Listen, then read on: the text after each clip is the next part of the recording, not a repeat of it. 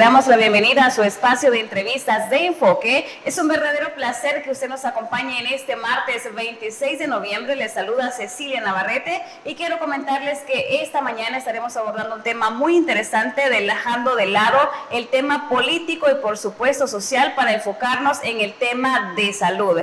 Esta mañana nos encontramos con el doctor Emilio Salazar, quien nos va a brindar importantes recomendaciones a tomar en cuenta para este frente frío. Así que a nuestro invitado de este día, desde ya le damos la más cordial de las bienvenidas. Claro que sí, encantado de estar aquí de nuevo y mire que este clima frío está espectacular. Sin embargo, hay cosas bien importantes que tenemos que conocer que ocurre en nuestro cuerpo cuando la temperatura desciende para poder proteger nuestra salud y para poder tener pues la adecuada prevención de enfermedades y disfrutar de este clima sin tener complicaciones desde el punto de vista médico. Excelente, doctor. Así que con esta información de introducción iniciamos de lleno con nuestra entrevista queriendo conocer cuáles son las consecuencias, como ya mencionó usted, de las bajas temperaturas en el país en el tema de enfermedades. Hay un punto bien importante y es lo que ocurre en nuestras vías respiratorias cuando las temperaturas disminuyen la anatomía de nuestro sistema respiratorio nos permite protegernos de múltiples infecciones y de enfermedades, pero cuando viene esta disminución de la temperatura, hay en primer lugar un debilitamiento de nuestro sistema inmunológico. Al disminuir la temperatura también disminuye un poquito nuestra defensa. Pero en segundo lugar, en nuestra vía aérea, cuando el aire entra por la nariz, Ahí se humidifica, se calienta, pero hay unos pelitos que son los que nosotros vemos en la nariz que nos ayudan a proteger de que entre polvo, partículas y microorganismos. Pero en la medida que va entrando el aire y circula por la faringe hasta llegar a la tráquea y a los bronquios y los bronquiolos, que son los tubitos más pequeños, a nivel microscópico también tenemos unos pelitos que se conocen como cilios y estos cilios se encargan de barrer los microorganismos, las partículas, el polvo y expulsarlas hacia el exterior, impidiendo que estos no generen infecciones. Ocurre que cuando la temperatura disminuye en el cuerpo, estas estructuras se debilitan y se dañan y pierde una línea de defensa contra las infecciones respiratorias y por eso es que durante el clima frío usualmente puede haber un aumento en la incidencia de infecciones respiratorias y en ese punto también tenemos que tomar ciertas medidas para poder pasar estos días de la mejor forma. Además, debemos recordar también que en una temperatura extrema, por ejemplo en el Citalá, mencionaron que había alcanzado los 2 grados centígrados, en una temperatura muy extrema, al disminuir la temperatura, la piel también puede en algunos casos lesionarse.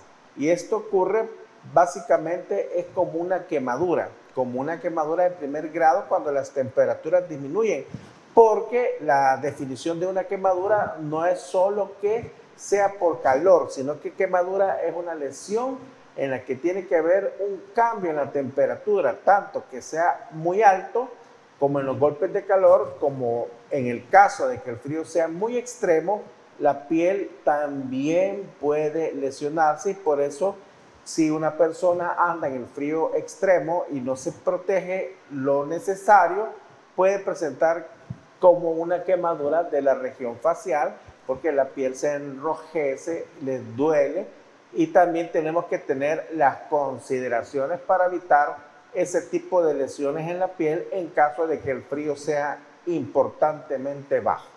¿Qué otro tipo de enfermedades, doctor, se pueden atraer con estas bajas temperaturas? Ya mencionamos, por supuesto, la llegada de los vientos que oscilan entre 20 a 40, 60, ay, 40 kilómetros por hora. Es importante recordar lo que ocurre en las personas que dependen de nosotros. Esto es los niños menores de 6 años y nuestros adultos arriba de 65 años, sobre todo en los adultos que tengan ya alguna enfermedad crónica debilitante. como diabetes, hipertensión o que tengan aún más un deterioro en su sistema neurológico, es decir, en su capacidad de avisar que no está bien. Por ejemplo, al disminuir mucho las temperaturas, puede haber otro fenómeno, que es la hipotermia. La hipotermia es cuando ya la temperatura corporal, la propia temperatura disminuye por debajo de 35 grados centígrados y esto pone en peligro la vida del paciente. Definitivamente estamos hablando de situaciones extremas, pero que se pueden presentar en nuestros niños. ¿Por qué? Porque de pronto ellos no avisan que tienen mucho frío y en los adultos también, sobre todo si hay condiciones neurológicas. Es decir, mi querido televidente, una persona que tenga, por ejemplo, a un papá con secuelas de un accidente cerebrovascular o Alzheimer, Parkinson o alguna enfermedad que le limite sus funciones mentales, estas personas son vulnerables de tener una hipotermia y no tener la capacidad de expresarlo y avisar como la tenemos nosotros. Es decir, de pronto yo tengo frío, yo voy a tener la capacidad de sentir el frío, de pedir ayuda, de pedir una sábana o de decirle a alguien con quien yo estoy que tengo frío. Pero una persona en una condición de vulnerabilidad o incluso hay muchos padres o abuelitos que ellos viven solos y de pronto pues no van a tener a quién avisar en caso de que tengan frío. Tenemos que reforzar nuestros cuidados y sobre todo también a las personas que viven en una condición de indigentes en la calle. También pueden haber, en un caso muy extremo de que el frío bajara aún más, que presenten hipotermia. En este sentido, doctor, para una persona, digamos un ejemplo que está en cama, para evitar este, este tema de la hipotermia, ¿cuáles son las medidas preventivas? Es decir, ¿de qué señales debemos estar alertas? Lo más frecuente es que podamos detectar que la piel está fría. Cuando hay hipotermia puede haber somnolencia, que el paciente disminuye la capacidad de respuesta. Esos son los signos que puede presentar una persona que no tiene la capacidad de expresarse. Ahora, naturalmente, ¿qué implica esto? Que tenemos que reforzar la vigilancia en nuestros niños pequeños, de que ellos estén perfectamente abrigados y también en los adultos mayores de tener el cuidado de que puedan estar muy bien abrigados. Nuestra temperatura corporal tiene que ser constante. Nuestra temperatura es de 37 grados centígrados y en el cerebro tenemos una parte que se encarga del control de esta temperatura. Es nuestro termostato que se encarga de que mantengamos siempre esos 37 grados centígrados.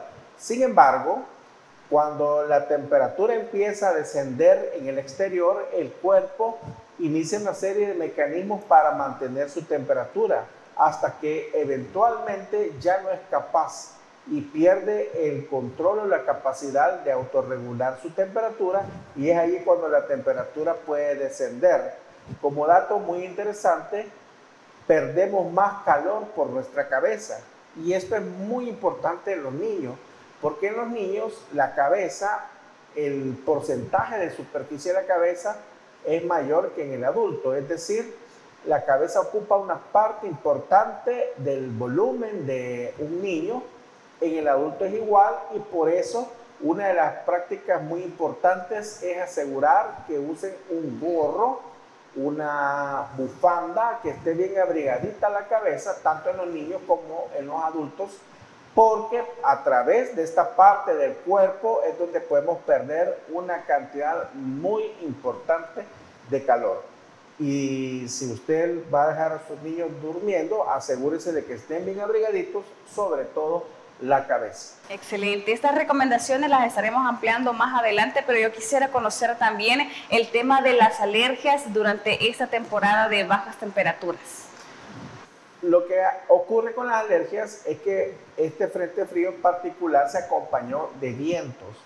Y, acá hablamos también de ingreso del polvo del Sahara, doctor, en algunas ocasiones. Así es, el polvo del Sahara es un fenómeno natural en el mundo, pero son partículas microscópicas que al haber viento, estas partículas aumentan en el ambiente en el aire que respiramos y eventualmente esto puede también desencadenar problemas no solo de alergia, sino también de sinusitis, que es ya una infección de los senos paranasales y tenemos que también tener mucho cuidado de protegernos y de prevenir estos problemas que se nos pueden presentar. Doctor, en el tema de la sinusitis, ¿cuáles son los principales signos de alerta? Porque muchos de nuestros amigos televidentes, pues muchas veces no se han dado ni cuenta de que tienen ese problema de sinusitis. La sinusitis es una enfermedad muy interesante porque puede ser tan común. Como una gripa. Tan leve, pero puede tener también formas graves como una gripe sin embargo, en la sinusitis, la infección está localizada en los senos paranasales. Los senos paranasales son unos huequitos que tenemos en el cráneo, alrededor de nuestros huesos de la cabeza, que en condiciones normales se encargan pues de mantener la temperatura y pueden contener líquido. Cuando estos senos por alguna razón se obstruyen y se inflaman, empiezan a acumular líquido y este líquido se infecta y ya se convierte en pus y eso es una sinusitis. Es una infección en el espacio de los senos paranasales. Estas sinusitis pueden ser en ocasiones fáciles de tratar, es decir, responden con los antibióticos, con el tratamiento adecuado, pero en ocasiones se vuelven resistentes, sobre todo cuando la condición que la origina persiste es muy frecuente en aquellos ambientes donde se utiliza el aire acondicionado y a veces el aire acondicionado no tiene la limpieza necesaria a su debido tiempo. Es decir, un paciente con sinusitis, que su sinusitis se debe a su entorno laboral, por ejemplo, donde hay aire acondicionado contaminado, mientras continúe allí, eso va a persistir. Otro dato importante, como vimos, los senos paranasales son unos huequitos que están en nuestro cráneo pero tienen una comunicación tan estrecha con el resto del contenido del cráneo, esto es con el cerebro. El límite anatómico es estrecho, delgado, lo que quiere decir que si usted tiene una sinusitis y no se ha diagnosticado porque no, usted no lo ha pensado, que puede tratarse de sinusitis y no ha consultado a tiempo, una sinusitis complicada en el peor de los casos las bacterias pueden atravesar esa barrera y llegar al cerebro y desencadenar una neuroinfección. Y eso sí, ya es más complicado, más difícil de tratar y pone en riesgo la vida. Entonces, si usted tiene una sinusitis, tiene que consultar a tiempo y esto lo va a notar porque usualmente los pacientes con sinusitis tienen mucha congestión nasal, dolor en el área de los senos paranasales, que son aquí sobre las mandíbulas, también a nivel frontal, puede haber un dolor de muy fuerte intensidad, fiebre, escalofríos, pero será su médico quien a través del examen físico le va a revisar su cavidad oral. A veces los pacientes con sinusitis, al revisarle la garganta, tienen goteo retronasal, es decir, al ver la cavidad se nota que hay tanto líquido inflamatorio que incluso por atrás de la faringe la nariz está goteando este líquido. Pero lo más importante es que usted lo tenga en cuenta y que consulte a tiempo. ¿Qué sucede además, doctor, de esta importante información que nos acaba de brindar con aquellas personas que tienen recurrentemente infecciones en la garganta? Es decir, no están en temporada baja, sin embargo, siempre pasan con estas infecciones. Es muy importante tener un sistema inmune fortalecido. Hay muchas personas que de pronto tienen infecciones respiratorias a repetición, tienen más del promedio normal de un adulto y a veces hay que reforzar la inmunidad.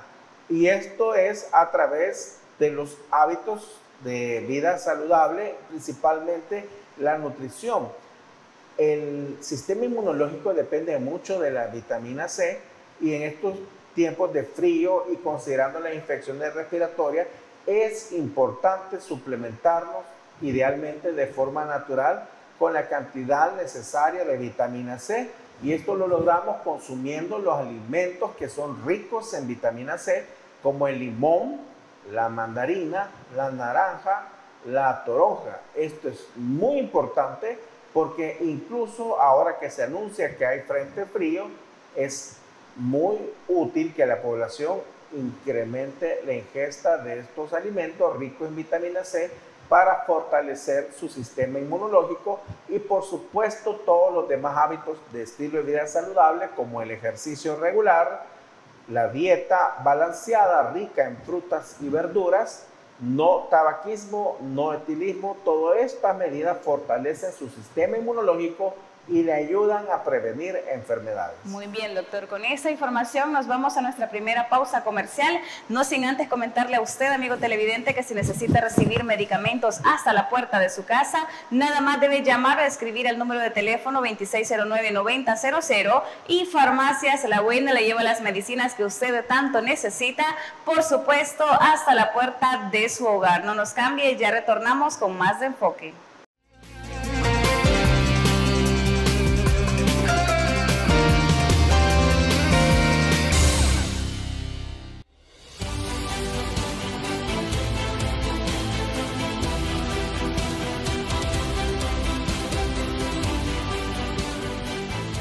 Nuestro compromiso, nuestra pasión, son algunas de las cosas que nos caracterizan como salvadoreños.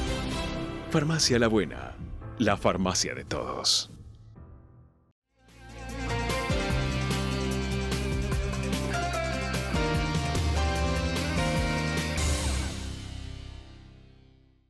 Ya estamos de regreso. Muchísimas gracias a usted, amigo televidente, por continuar con nosotros. Esta mañana me encuentro muy bien acompañada de nuestro amigo de casa, el doctor Emilio Salazar, con quien estamos abordando interesante tema referente a recomendaciones ante un frente frío para poder prevenir enfermedades. Y precisamente en el bloque anterior hablábamos sobre aquellas personas que recurrentemente presentan infecciones en la garganta y que toman automedicación. ¿Qué sucede con estas personas, doctor? Ya al final, cuando regresan esas infecciones, ya los antibióticos no hacen efecto. Definitivamente es un problema muy serio. Quiero comentarle que las infecciones respiratorias son ocasionadas por microorganismos, pero microorganismos implica una serie de elementos entre los que están los hongos, que son los menos frecuentes, de, que pueden ocasionar una infección respiratoria aguda, las bacterias, que son los segundos más frecuentes, ahí está el estreptococo, el neumococo y los virus.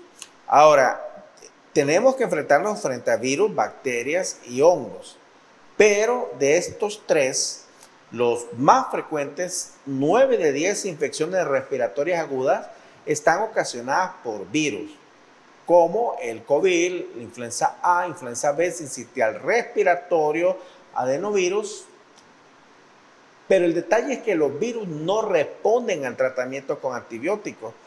Los virus son, a nivel del estudio de biología, son los microorganismos más primitivos, porque ni siquiera tienen la capacidad de reproducirse por sí mismos, sino que solo son cadenas de ADN es decir, son como cadenas de mensajes, no tienen una estructura como una bacteria que tiene pared celular, eh, sus organitos adentro de la pared celular o como un hongo, sino que es nada más una cadena de ADN que es como un mensaje que se transmite a la célula huésped, a la célula infectada, y ahí es donde el virus toma la maquinaria de la célula del huésped para reproducirse.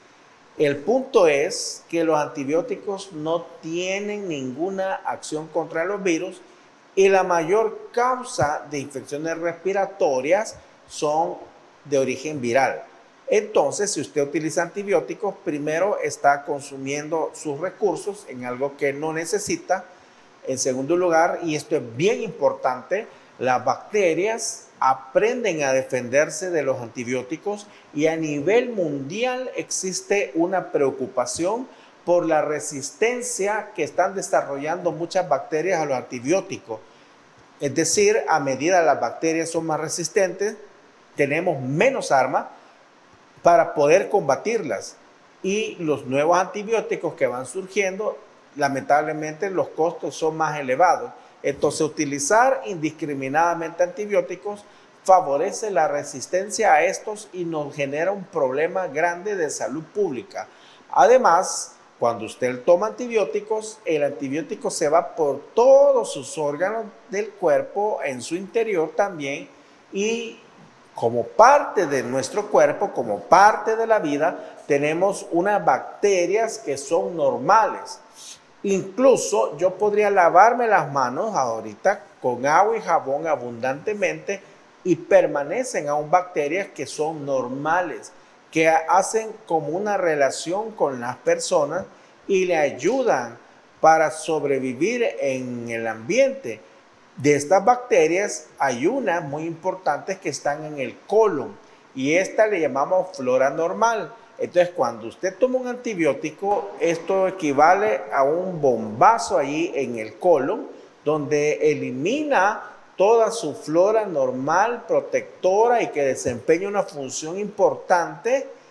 Y entonces las personas después de tomar antibióticos muchas veces tienen dolor de estómago, tienen diarrea y lo peor que eliminaron la flora normal. Las bacterias normales también tienen una función muy importante y es evitar que bacterias malas se multipliquen.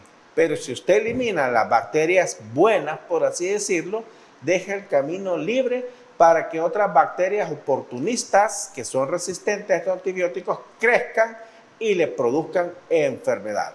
Por eso es importante saber cómo prevenir estas enfermedades, cómo ir a consultar tempranamente y saber cómo es la forma que usted la va a diagnosticar y poder brindarle un tratamiento oportuno. Muy bien, doctor. Esto es en el tema de la no automedicación, pero nosotros como buenos padres de familia, eh, como familiares, amigos, podemos auxiliarnos de remedios naturales. Mencionó en el bloque anterior que es importante el consumo de vitamina C a través de los diferentes cítricos. Estamos hablando de limón. ¿Qué tan importante sería podernos eh, eh, tomar o, o hacerle a la persona que está un poco enferma un té de jengibre, de limón, de miel? La idea es que usted tenga la capacidad de detectar cuando es una infección leve y cuando la infección pone en riesgo la vida. Una vez usted determina que es una infección leve, usted puede tratarla en casa. La mayoría de las veces, como explicamos, son virales. Lo que tiene que hacer es darle reposo al paciente, abundantes líquidos, porque si él tiene fiebre, pues él pierde líquido, se evapora, se deshidrata, asegurarse que tenga una ingesta adecuada de líquidos, que pueda tener remedios naturales como todo esto que alivia el dolor de garganta, como el té de manzanilla, el té de jengibre, eucalipto, y aumentar la ingesta de vitamina C. El problema es cuando el paciente presenta una infección grave. En general, los signos, que es bien amplio, porque no es lo mismo un niño pequeño que un adulto, pero me voy a enfocar en los adultos, los signos que le pueden indicar en caso de una infección respiratoria que es grave y que usted necesita definitivamente a lo mejor consultar con su médico o en casos más graves, ingreso hospitalario y tratamiento más agresivo, es que su familiar pueda tener, por ejemplo, fiebre, fiebre muy elevada, que tenga cambios en el estado de conciencia, que de pronto esté hablando incoherencias en el contexto de una infección respiratoria, eso le está avisando que es grave. O que él manifieste o usted le vea dificultad para respirar, que se cansa, que le falta aire o que de pronto empieza a vomitar abundantemente. Estos son signos que le deben de alertar le deben hacer tomar la decisión de consultar definitivamente lo antes posible. En los cuidados intensivos, cuando usted consulta temprano, tenemos más oportunidad de ayudarle a recuperar su salud que cuando usted ya consulta tarde. Cuando una enfermedad ya está bien complicada, las oportunidades son menos. Entonces tenemos que protegernos, tenemos que prevenir saber cómo tratar las enfermedades en las formas leves y saber aprender a través de estos programas y de la información cuando un paciente tiene signos de gravedad para poder tomar las decisiones y acudir al hospital en el momento más oportuno. Ok, importante siempre llevar de la mano esos tratamientos de un profesional de la salud. Doctor, antes de abordar el tema de las principales recomendaciones ante las enfermedades, ¿cómo lo podemos encontrar? A nuestros amigos televidentes que quisieran contactar al doctor Emilio Salazar, ¿dónde y cómo lo encontramos? Claro que sí, en las redes sociales estoy compartiendo información que le va a ayudar a recuperar su salud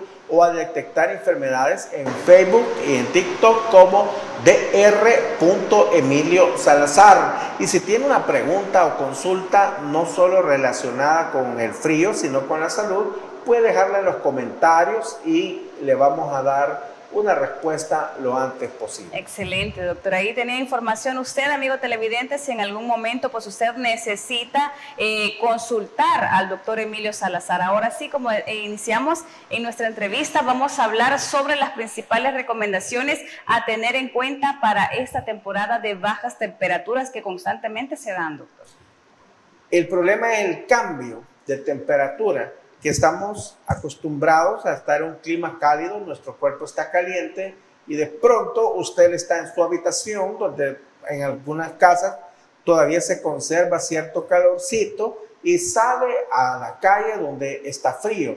Es este cambio súbito de la temperatura el que le daña. Entonces, si usted está en su casita que está cálido y va a salir, tiene que protegerse, tiene que utilizar una gorro y principalmente proteger su boca y su nariz. Puede incluso cubrirse con alguna mantita para evitar respirar el aire frío y para evitar, si va a un lugar muy extremo, por ejemplo el pital, que el aire frío le produzca quemaduras en el rostro, puede cubrir particularmente su nariz y su boca. Tienes que asegurarse de tener una adecuada hidratación, puede utilizar una bufanda ropa muy apropiada para salir al frío. Si va a salir, pues utilice un abrigo que le cubra bien, que sea grueso, que le ayude a mantener su temperatura.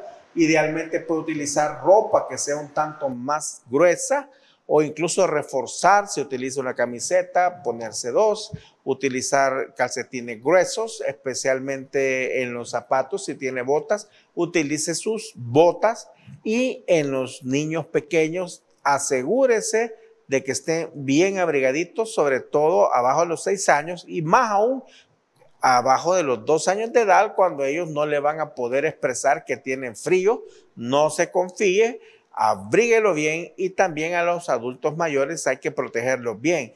Y si de pronto pasa el frío y usted tiene una infección respiratoria aguda, síntomas como tos, congestión nasal, alergia, usted tiene que consultar a tiempo para recibir el tratamiento pues más oportuno para tratar su enfermedad.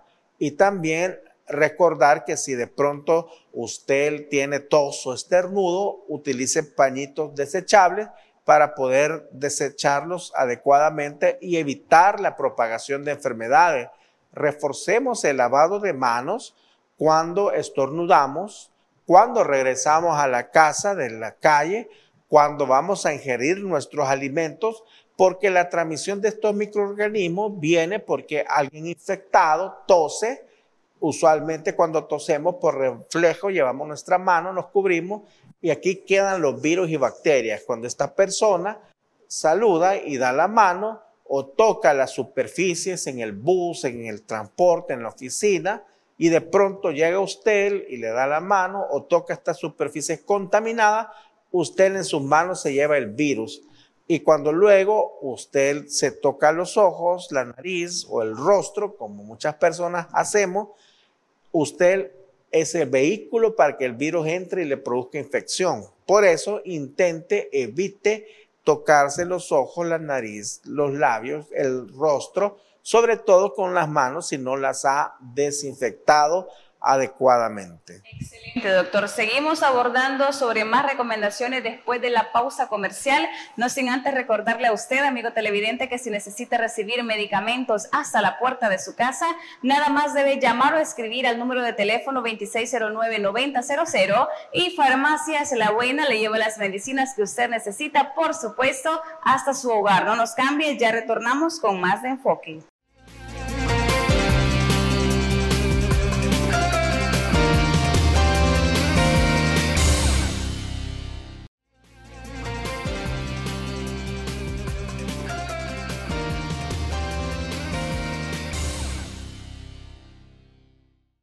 Ya estamos de regreso. Muchísimas gracias a usted por acompañarnos esta mañana. Estamos compartiendo con usted importantes recomendaciones a tener en cuenta durante un frente frío. Y para ello, pues nos acompaña nuestro buen amigo y experto, el doctor Emilio Salazar, con quien en el bloque anterior iniciamos abordando sobre la principal recomendación que es lavarse las manos, protegerse, estar muy bien abrigados y por supuesto cuidar de los niños y personas adultas. Hay algo interesante también que hemos dejado de lado, doctor, y es el uso de la mascarilla. ¿Qué tan importante es de que nuestros, nuestros amigos televidentes, población salvadoreña en general, al momento de salir de casa, pues pueda tener su paquetito de mascarillas y poder utilizarlas? Usted mencionaba en el bloque anterior de cubrirse con un, con un pañuelo, con algo que lo, le pueda evitar sentir las temperaturas fuera de casa. ¿Qué tan importante es que aún conservemos el uso de la mascarilla, doctor? Muy importante. Definitivamente lo que aprendimos en la pandemia a protegernos. Ha venido para quedarnos porque la mascarilla le previene primero de que usted transmita infecciones respiratorias y le previene a usted adquirirla esa cultura de utilizar nuestra mascarilla cuando salimos a espacios públicos debe mantenerse. Recordemos que con frío o sin frío los virus respiratorios están por ahí. circulan. Y sobre todo, si usted tiene síntomas respiratorios, por favor, utilice su mascarilla para que cuando usted le estornude no libere todos esos virus y disminuya la transmisión de estas bacterias y utilice pues sus paños desechables y reforcemos el lavado de manos porque es bien importante proteger la salud de todas las personas. Muy bien, otro de los temas importantes, aprovechando su presencia, doctora, es la hidratación y por supuesto la nutrición que ya comentábamos en el bloque anterior. Es definitivamente la hidratación, es el pilar para mantener la salud. De hecho, el 70% de un hombre y el 60% de una mujer adulta es agua. Cuando tenemos infecciones respiratorias, pues el agua se evapora por la fiebre y la deshidratación puede también darnos complicaciones y es importante mantenernos lo suficientemente hidratados en estos periodos de frío para proteger nuestra defensa, para que las infecciones sean lo más leve posible y salir adelante con todo esto y una nutrición balanceada, rica en vitamina C, es altamente importante para reforzar su sistema inmune y poder estar bien protegido de sus defensas. Algo también, doctor, que hay que tomar en cuenta es el consumo de helados. ¿Qué tan este, prudente es de que le demos como padres de familia el permiso, la concesión a nuestros pequeños de estar consumiendo helados eh, refrescos sumamente helados, ¿qué tanto afectaría en la salud? Se recomienda cuando hay frío que utilice bebidas calientes porque la temperatura se transmite al resto del cuerpo. Lo que intenta usted es mantener una temperatura normal y evitar que sus niños caigan en hipotermia. Por eso es importante pues las bebidas calientes como la leche caliente, el chocolate caliente y evitar las alimentos o las bebidas que sean muy frías, porque esto en un niño que es más pequeño que usted le puede ocasionar una disminución de la temperatura y puede ser contraproducente para la salud de los niños pequeños. Desde casa, ¿qué medicamentos o un kit, un botiquín de salud podríamos tener? ¿Qué recomienda usted tener como medicamentos o a la mano para, como ya mencionamos anteriormente, eh, encontrar si es una infección leve, si es un dolor de cabeza? Se presentan muchas veces fiebre, precisamente porque las personas se exponen a vientos y muchos ya pues, regresan de calle con dolores de cabeza y malestar en general, dolor de cuerpo. Es muy importante saber conocer cómo están nuestros familiares, nuestros seres queridos y determinar el nivel de gravedad. Hoy la ciencia médica ha avanzado y aunque los instrumentos de medición no son del todo económicos, pero están medianamente accesibles, es bien importante saber distinguir la fiebre. La forma más sencilla o práctica es que usted utilice dos dedos de su mano y con esto toque la frente el área anatómica que usted tiene que evaluar para ver si hay un incremento de la temperatura es la frente. Usted toca la frente asumiendo que usted está sano, si usted lo encuentra más caliente, eso le puede indicar que usted tiene fiebre, que su familiar está con fiebre. Ahora bien, la presencia de escalofríos. He tenido pacientes que les pregunto, mire, ¿y él ha tenido fiebre? No me dicen, pero lo que sí ha tenido es que ha estado temblando del frío. El escalofrío es la manifestación de una fiebre alta y ahí usted tiene que tener ese cuidado especial. ¿Por qué sucede esto? Cuando tiene fiebre, la temperatura del cuerpo se eleva, pero eventualmente al elevar nuestra temperatura perdemos calor. Y el cuerpo empieza como a enfriarse, activando ciertos músculos para producir más calor que producen el titiriteo, que es como unas contracciones musculares. Eventualmente, después de una fiebre arriba de 40 grados, por todos estos mecanismos viene la sensación de frío.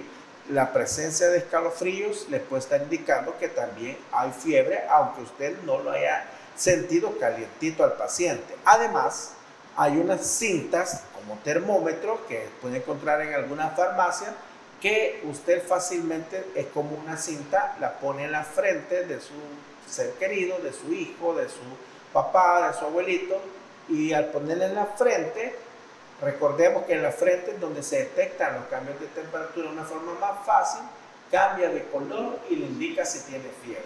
Además está el uso de termómetro.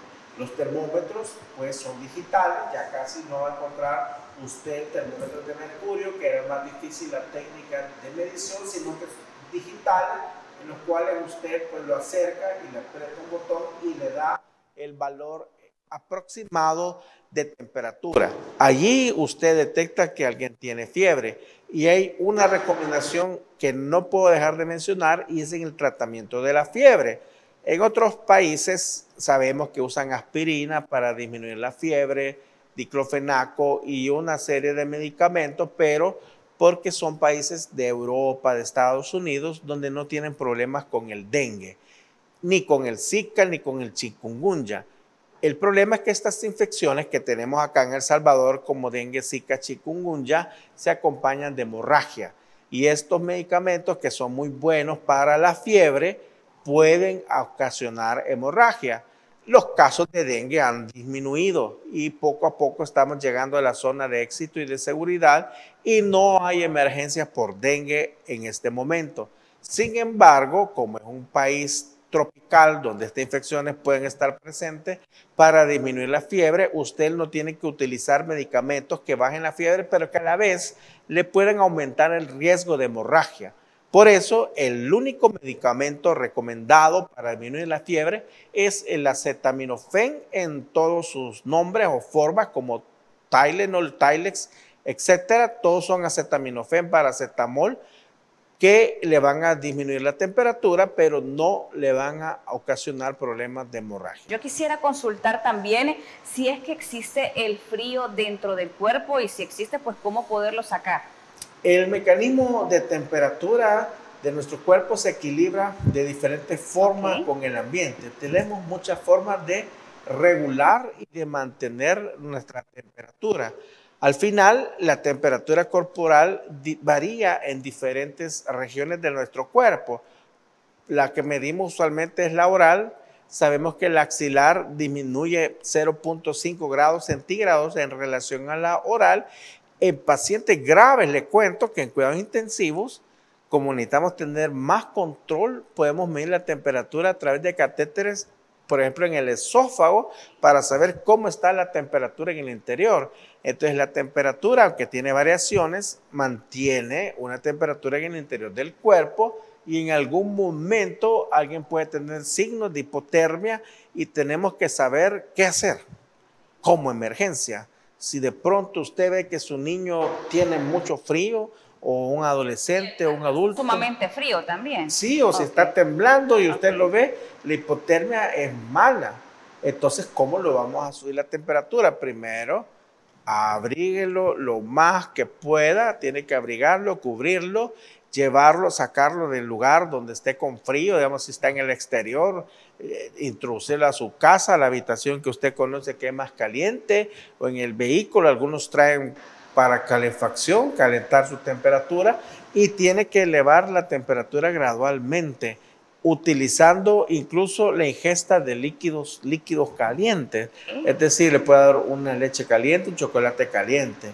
Cuando hemos tenido casos de hipotermia, incluso, bueno, en los hospitales tenemos sábanas térmicas, sábanas que usted las conecta a energía eléctrica e incrementan la temperatura y usted le puede programar qué tipo de temperatura, qué cantidad de temperatura necesita y lo va recalentando poco a poco para llegar a los 37 grados centígrados, que es la temperatura normal. Muy bien, doctor. Con esta información nos vamos nuevamente a pausa comercial. No sin antes recordarle a usted, amigo televidente, por supuesto que si necesita recibir medicamentos hasta la puerta de su casa, nada más debe llamar o escribir al número de teléfono 2609-9000 y Farmacias La Buena le lleva las medicinas hasta la puerta de su hogar. No nos cambie, ya retornamos para finalizar su espacio de entrevistas de enfoque.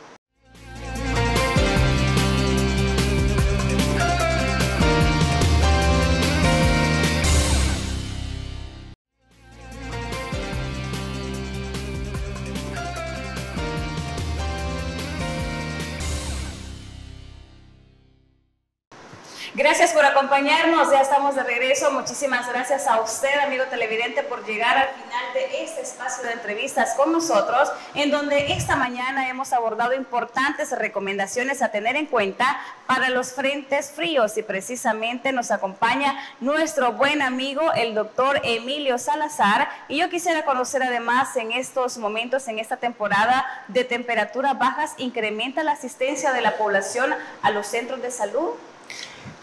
Realmente no. No, no hay un incremento en la asistencia en relación con el frío, pero el incremento puede verse después, unas semanas después, si hay un incremento en la infecciones respiratorias agudas. Pero por eso es importante que estemos pendientes de este programa para poder saber qué tenemos que hacer. Pareciera que son cosas muy sencillas y yo sé que ya las conoce mi amigo televidente pero de pronto se nos pasan por alto y es lo que no queremos, que proteja su salud y hagamos un especial cuidado a nuestros adultos mayores. Vaya a revisar que esté bien abrigadito, que tenga una buena temperatura o si tiene familiares que viven solos y que están bien, usted sabe que están bien, pero no está de más cerciorarse de una forma presencial que estén bien.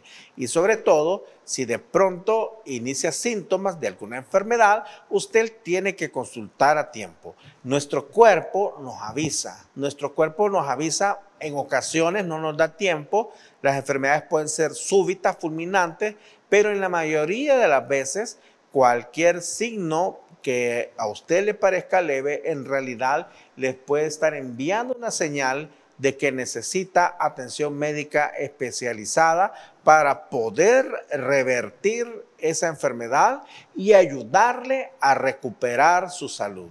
Muy bien, doctor. Le quiero agradecer infinitamente el hecho de acompañarnos esta mañana y por supuesto brindarnos estas recomendaciones tan importantes a tener en cuenta que si bien usted ya mencionó que la población salvadoreña pues ya las conoce, es importante que siga las indicaciones al pie de la letra. Doctor, muchísimas gracias. Muchas gracias Cecilia y gracias por su atención. Recordemos una vez más, doctor, cómo la población salvadoreña puede encontrarlo a usted para solicitar esos servicios de salud o consultas a través de redes sociales. En mis redes sociales como DR Emilio Salazar en Facebook y TikTok si me sigue ahorita, lo voy a ir a chinear hasta la puerta de su casa. Excelente. Bueno, ahí tenía usted, amigo televidente, información importante en caso de alguna emergencia o si usted quiere realizar cualquier consulta al doctor Emilio Salazar. Muchísimas gracias por su fiel sintonía. Nos vemos en una próxima emisión, por supuesto, de Enfoque.